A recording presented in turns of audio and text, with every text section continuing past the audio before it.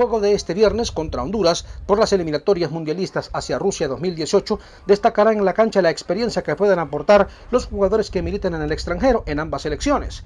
El Salvador cuenta con varios jugadores legionarios, tiene 10, de ellos todos han sido llamados por el técnico Ramón Maradiaga para la serie que se disputará contra Honduras. Darwin Serén es el único que milita en la MLS, el resto lo hace en la segunda división de Estados Unidos en la NASL.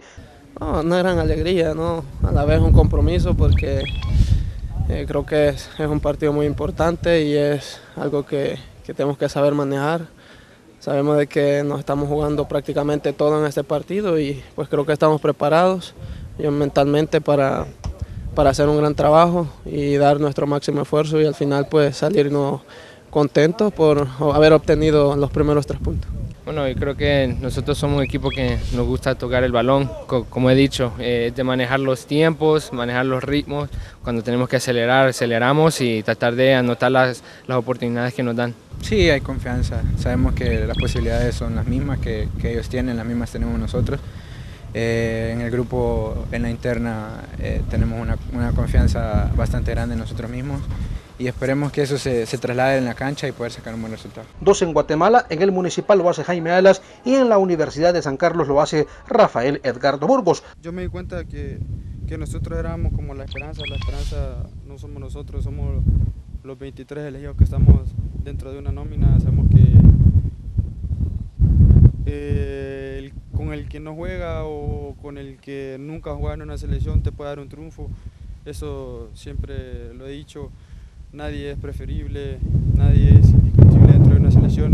Como él dice, eh, los legionarios pueden dar un, un, plus para los que están acá, y, pero todos son, somos por igual, nadie se cree el mejor, eh, eso es lo bueno que, que, bueno que nosotros hemos tenido siempre ahora. Por su parte Nelson Bonilla lo hace en el SIRA de Azerbaiyán y dos en Islandia, Pablo Punget y Derby Carrillo.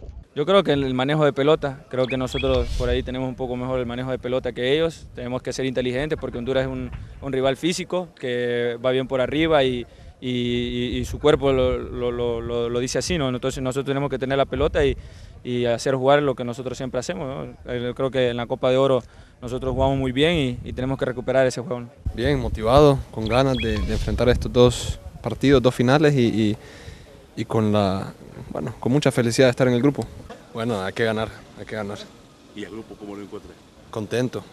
Tenemos un gran grupo y, y, hay que sacar adelante estos resultados para demostrar que, que el grupo no es, no, es, no es factor, sino que, que nosotros con, los resultados los sacamos adelante y pasamos a esta eliminatoria.